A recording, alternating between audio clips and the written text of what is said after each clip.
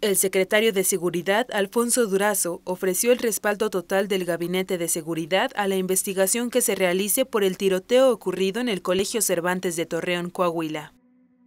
El funcionario federal indicó que desde el primer momento han estado en contacto con el gobernador Miguel Riquelme en relación a lo ocurrido en el colegio, donde un menor de edad disparó contra su maestra y sus compañeros.